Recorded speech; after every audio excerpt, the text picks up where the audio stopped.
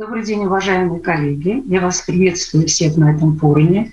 Сегодняшнее наше сообщение будет посвящено аппликационно-лучевой терапии базально-клеточного рака кожи головы в сочетании с криогенным воздействием.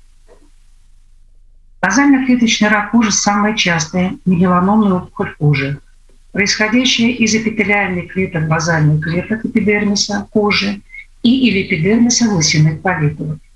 Базально-клеточный рак кожи может иметь разнообразное морфологическое строение, однако всегда содержит островки базалоидных клеток с гиперхромными ядрами из клубы цитоплазмы. В 95% случаев базально-клеточный рак кожи развивается на открытых, подверженных инсоляции местах тела лица. Базально-клеточный рак кожи составляет 80% всех злокачественных немеланомных опухолей кожи.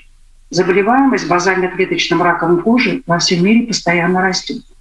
В Российской Федерации статистический анализ включает всю группу злокачественных немеланомных опухолей кожи.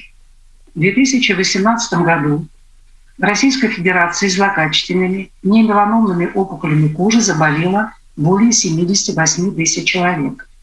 Следовательно, на долю базально-клеточного рака кожи приходится 60 тысяч заболевших в год. Заболевание возникает преимущественно у лиц старше 60 лет. Согласно гистологической классификации, к опухолям низкого риска относят модулярный базальный клеточный рак, поверхностный базальный клеточный рак, пигментный базальный клеточный рак, фиброэпителиальный базальный клеточный рак базально-клеточного рака высокого риска относят базально-плоскоклеточная карцинома, склерозиющую карциному морфея, инфильтративный базально-клеточный рак, микронодулярный базально-клеточный рак и базально-клеточный рак с саркоматоидной дифференцировкой. В связи с различием стадирования по классификации ТНМ, а также прогнозом, базально-клеточный рак кожи головы и шеи, века, включая спайковый, классифицируют отдельно от других анатомических областей. В зависимости от риска рецидивов и локализации опухоли в области головы, базально-клеточный рак делят на промежуточный риск, зона М, и высокий риск, зона H. К промежуточному риску относят все опухоли, которые локализуются в области щек, лба, волосистой части головы, шеи. Однако размер этих образований должен быть менее 10 мм. К высокому риску относятся все опухоли, которые локализуются в так называемой зоне лицевой маски, независимо от размера опухоли. Это центральное отдел лица, веки, брови, переорбитальные области, нос, губы, подбородок, ушная раковина и виски. К высокому риску относятся также опухоли, размер которых равен или превышает 10, 10 мм, и эти опухоли могут локализоваться в области кожи щек, лба, волосистой части головы и шеи. К основным методам лечения относится хирургическое лечение. Однако оптимальными методами лечения также можно считать лучевую терапию, криодеструкцию, фотодинамическую терапию и применение противоопухолевых мазей. Выбор тактики лечения больных с базально-клеточным раком кожи следует осуществлять индивидуально, принимая во внимание распространенность опухолевого процесса и локализацию, группу риска, общее состояние больных и ожидаемую продолжительность жизни. В недавнем систематическом обзоре сетевом метаанализа первичного базально-клеточного рака кожи, в котором анализируется и сравнивается 40 рандомизированных и 5 нерандомизированных исследований с переменным периодом наблюдения, сообщается о предполагаемой частоте рецидивов 3,5% после лучевой терапии, что полностью сопоставимо с хирургическим вмешательством, где этот показатель равен 3,8%. Вероятность излечения базально-клеточного рака аналогична после операции после лучевой терапии.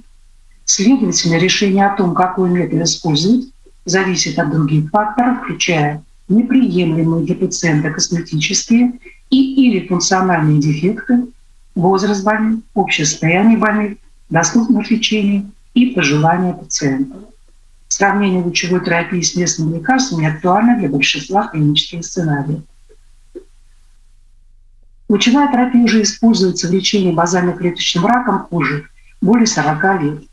В настоящее время применяются следующие методы лучевой терапии. Брахитерапия высокой мощности дозы, лучевая терапия электронным пучком, фотонная терапия, близкофокусная рентгенотерапия. При близкофокусной рентгенотерапии базально-клеточного рака кожи лица в связи с неровностями виета облучаемой поверхности не всегда удается достичь равномерного распределения поглощенной дозы в опухоли, что приводит к высокой частоте рецидива. Особенно высока частота рецидивирования рака, расположенного в области носогубной складки, ушной раковины, угла глаза, периомертальной области и достигает 10-30%. При применении пучка электронов имеется занижение дозы вблизи поверхности кожи, что приводит к недополучению опухолевых клеток при экзохидных формах базально-клеточного рака кожи или при неровной поверхности кожи. При энергии излучения электронов 6 МЭФ это занижение дозы в опухоли может быть в пределах 25% от общей подведенной дозы, при 9 МЭФ 18%, а при 12 МЭФ 13%. Частота рецидива составляет после электронной терапии 15%.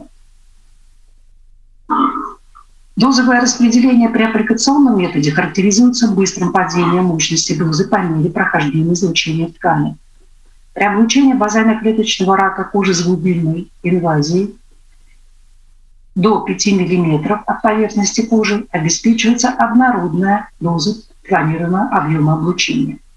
Ограничивающим фактором применения аппликационного метода это опухоли, опухоли с глубиной инвазии более 5 мм от поверхности кожи из-за обратного рассеивания излучения, а также резкого бокового отклонения глубинной дозы до центральной оси источника. Аппликационная лучевая терапия является альтернативным методом лечения для пожилых пациентов или лиц с ограниченными функциональными статусами, имеющих высокий риск операционной летальности.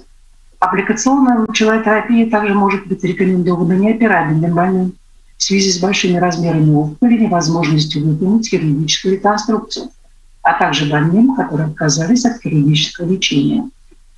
У больных с локализацией опухоли на коже головы, при которых данный метод приводит к лучшему косметическому результату, также может быть рекомендована аппликационная лучевая терапия.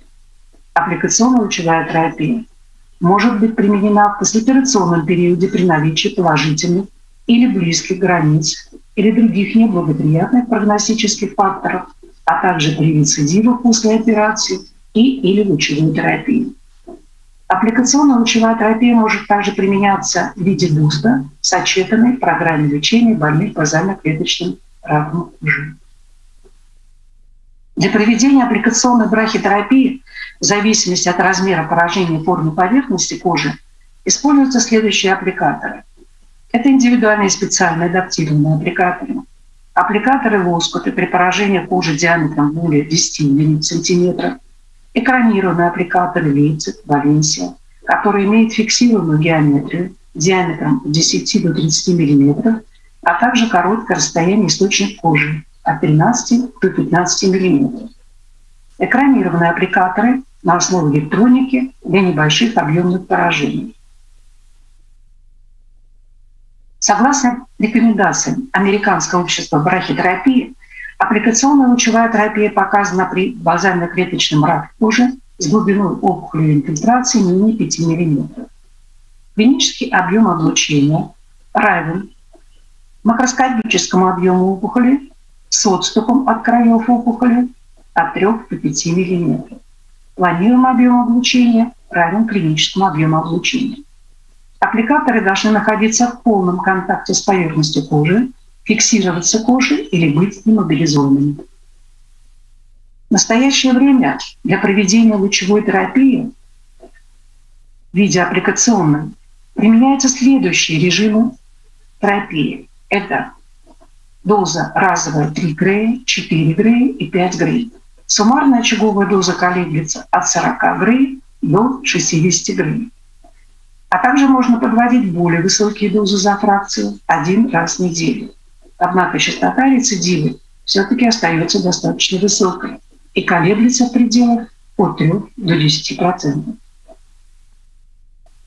На данном слайде показаны различные исследования по лечению больных базально-клеточным раком кожи. Представлены результаты локального контроля опухолью. Результаты лечения колеблются от подведенной суммарной чеговой дозы, разовой чеговой дозы и колеблются в пределах от 55% до 100%. В онкологическом научном центре имени Блохина разработана и опробирована методика аппликационной лучевой терапии базально-клеточного рака кожи головы высокого риска в сочетании с криогенным воздействием. Целью нашего исследования явилось повышение эффективности лечения больных базально-клеточным раком кожи головы с высоким риском рецидива, со сложными локализациями на лице, обеспечение наилучших эстетических и функциональных результатов, а также повышение качества жизни больных. В онкологическом центре также впервые в экспериментальных исследованиях изучены морфологические особенности и динамика восстановления популяции опухолевых клеток после криогенного, лучевого и криолучевого воздействия. На культурах опухолевых клеток инвитро показано, что по сравнению с действием радиации криогенного фактора владимости, сочетанное криолучевое воздействие приводит к увеличению гибели клеток, значительному уменьшению доли способных к неограниченной пролиферации клеток, а также снижению скорости репопуляции. Наше исследование вошло 14 больных базально-клеточным раком кожи головы высокого риска. Возраст больных колебался от 48 до 90 лет, и средний возраст составил 71 год. Мужчин было двое, женщин 12. У 11 больных выявлен первичный базально-клеточный рак кожи, у трех больных – рецидивы. Рецидивы опухоли возникли через 22 месяца после хирургического лечения одного пациента – Через 15 месяцев после применения курадерма у второй пациентки и через 7 месяцев после лазерной деструкции у третьей больной. У 13 больных опухоли локализовались на коже лица в зоне H. Из них у 11 больных опухоли определялись на коже носа и у двух на коже щеки и нижней веки. У одного больного опухоль локализовалась на коже теменной области, размеры ее были 10 на 20 мм и все опухоли относились к высокой степени рецидива. Нодулярный базально-клеточный рак наблюдался у большинства больных. У одного больного только наблюдался поверхностный базально-клеточный рак, и только одной пациентке склерозирующий базально-клеточный рак кожи. Единичные опухолеобразования отмечались у 12 больных, а множественные формы – у двух. Аппликационно-лучевая терапия проводилась на гамма-терапевтическом аппарате микроселектон с ХДР. Режим фракционирования 5 грей 3 раза в неделю, 8-9 фракций, суммарная лучевая доза 40-45 грей. Перед каждым сеансом контактной лучевой терапии выполняли локальное охлаждение опухоли по разработанной методике на основании ранее проведенных экспериментальных и клинических исследований. Мы использовали портативный многофункциональный отечественный криогенный аппарат Крио-05 с набором наконечников, который разработан был во Всесоюзном научно-исследовательском и испытательном институте медицинской техники Минздрава Российской Федерации. В качестве кладоагента в данном аппарате используется жидкий азот. 11 больным при размерах опухоли менее 20 мм мы проводили аппликационную лучевую терапию с использованием экранированных аппликаторов лейцик. Трем больным изготавливались индивидуальные формы толщиной 10 мм с последующей распечаткой на 3D-принтере. На этих формах устанавливались пластиковые аппликаторы на расстоянии 5 мм друг от друга, которые фиксировались индивидуально изготовленной термопластической маске. После выполнения компьютерной томографии с интростатами проводилось оконтуривание объема и расчет программ в трехмерном режиме. Клинический объем мишени включал макроскопический объем опухоли с, добавлением дополнительного отступа от краев GTV 5 мм. Планируемый объем мишени был равен клиническому объему мишени. Полная регрессия первичной опухоли достигнута при всех больных. Острые лучевые реакции кожи наблюдались у 76-9% больных в виде лучевого дерматита первой степени. При медиане наблюдения 19 месяцев ни, одной, ни одного больного не выявлено рецидива первичной опухоли. Отличный косметический эффект наблюдался у 11 больных, хороший трех. У этих пациентов отмечалась локальная пигментация кожи. На данном слайде представлен клинический пример больного с базально-клеточным раком кожи. Этот больной имел возраст 75 лет. Опухоли носили первично множественный характер и располагались в теменной области. Поверхностная форма и были отнесены к высокому риску.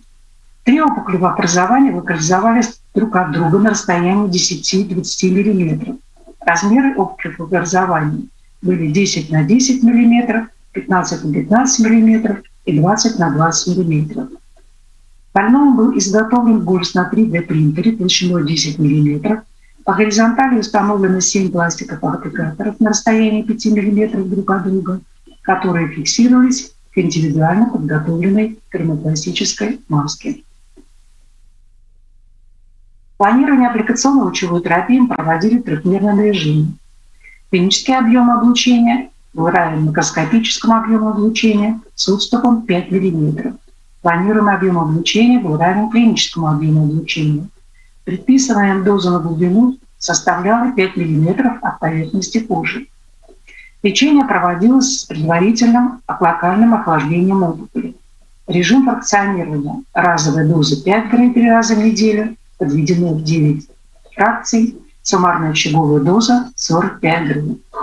Срок наблюдения за данным больным составил 12 месяцев. Был отмечен полный регресс опухолей, косметический результат прекрасный. Таким образом, аппликационно-лучевая терапия – это эффективное и хорошо переносимое лечение больных базально-клеточным раком кожи, которое обеспечивает отличный косметический эффект и низкую, токсичность.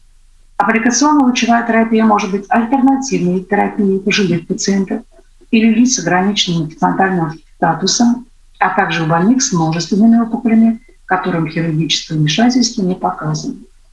Аппликационно-лучевая терапия показана с локализацией опухоли на коже головы, при которой брахитерапия дает лучший косметический результат. Это внутренний угол глаза, носогубная складка, корню носа, губы. Аппликационно-лучевая терапия – а выйти в режиме гипофракционирования коротким курсом, снижая репопуляцию опухолевых клеток, повышая локальный контроль опухоли, и данный режим экономичный, удобный для амбулаторных пациентов. Аппликационную лучевую терапию рекомендовано выполнять больным глубиной опухоли инвазии менее 5 мм. При обширных поражениях кожи и с неровной поверхности рекомендовано проводить аппликационную лучевую терапию аппликаторами лоскутами или индивидуальными формами. Применение разработанного метода в онкологическом научном центре, который заключается в проведении аппликационной лучевой терапии разовой дозы 5 грей 3 раза в неделю до суммарной очаговой дозы 40-45 грей в сочетании с криогенным воздействием позволило добиться полной регрессии опухоли у всех больных. Все больные были излечены с сохранением форм и функций лица при отсутствии осложнений. При медиане наблюдения за больными 19 месяцев рецидивов первичной опухоли не выявлено ни одного больного. Благодарю за внимание.